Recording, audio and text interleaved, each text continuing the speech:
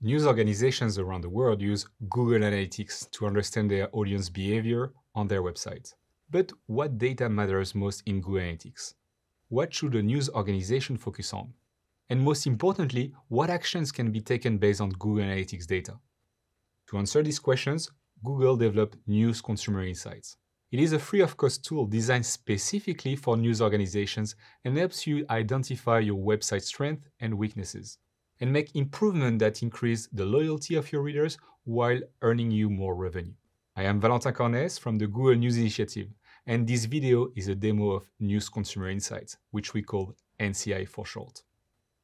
We will give you a tour of the tool, show you how to get the data on your news website, and share ideas for how this could help you improve your site.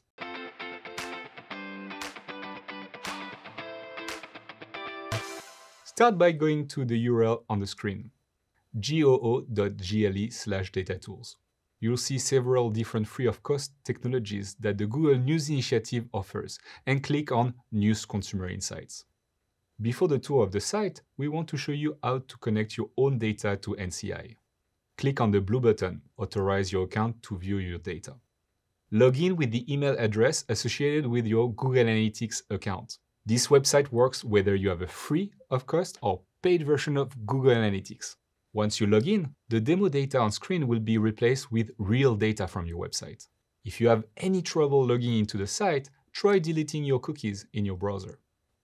If that doesn't work, you can email us at contactgni at google.com. The first thing you'll see are three boxes of information, shown in purple, blue, and green.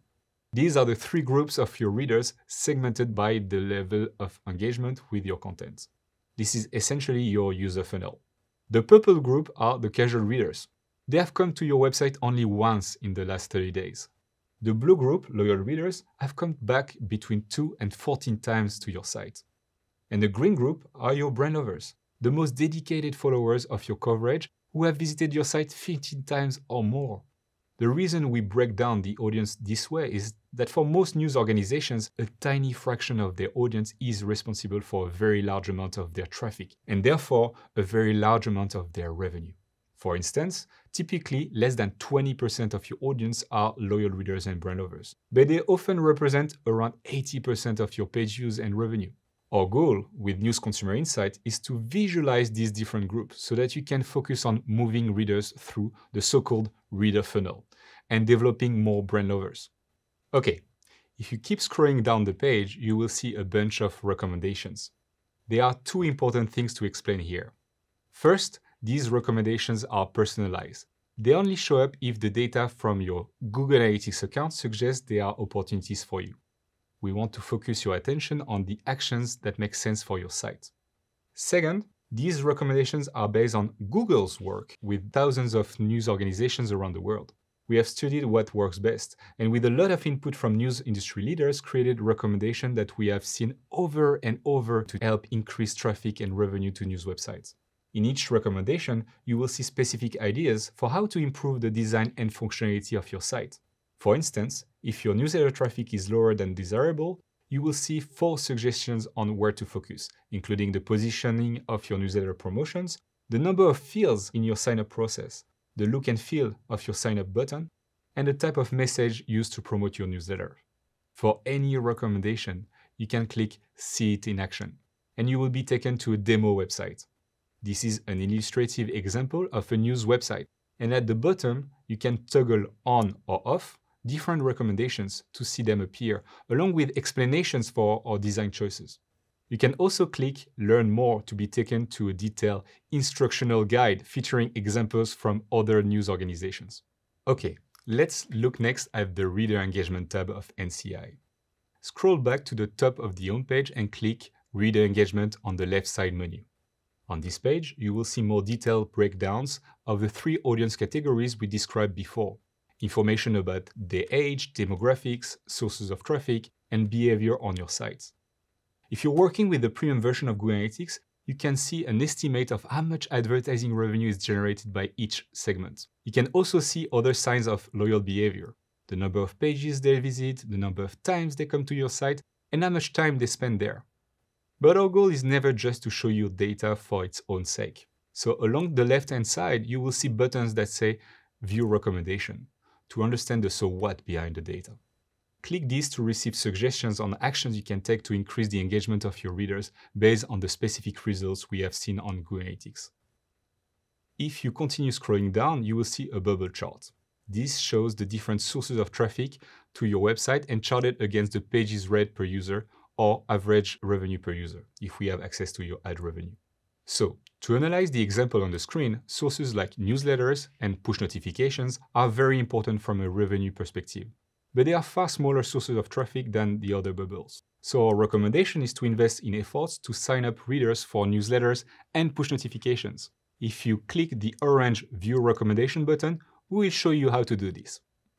Next up, we assess your website speed. In general, the slower the website, the more readers will leave before a page loads. As a rule of thumb, half of them will leave if the site takes more than 3 seconds. Here we measure the time for a page to load on your mobile website. If you are interested in this specific example, please check out our video on Core Web Vitals for ideas on improving your web page speed. Lastly, many news organizations ask us, how do my results compare to those from other news organizations?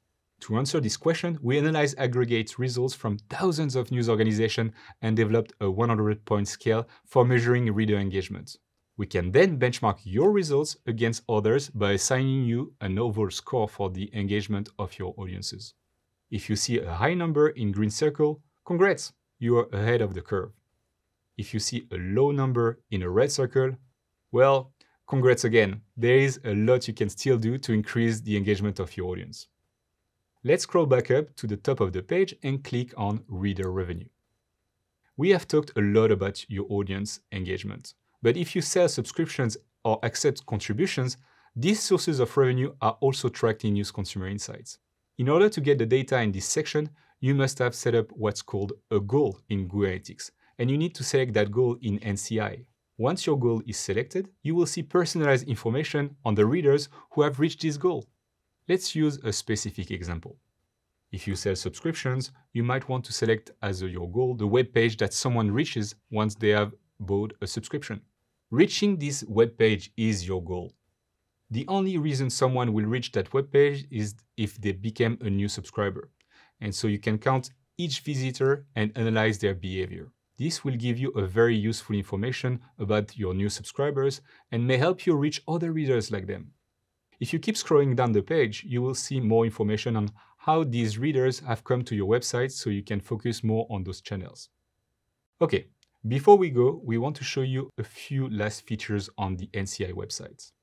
There is a section on Video Insights, which analyzes the behavior of readers who watch videos and gives recommendation on how to increase video viewership. We have an entire lesson on that topic if you're interested. There is also a success stories tab on the site, which shows hundreds of examples from around the world. Each of the news organizations on this map worked with Google to increase their reader engagement or revenue, and agreed to share their story to help others in the news industry. So we are very grateful for their collaborations and willingness to share their successes publicly. Thank you for watching this introduction to News Consumer Insights. We also have a tutorial on another free of cost product that Google built for the news organizations. It's called Real-Time Content Insights, and it is primarily used by newsroom employees to analyze the performance of articles, news trends, and other editorial topics. We hope you enjoyed this video. If you are interested in working with the Google News Initiative, we provide free of cost, in-depth coaching to groups of news organizations around the world through our labs. You can learn more and apply on our website, g.co slash newsinitiative. Thank you, and please share any questions or feedback at contactgni at google.com. Take care.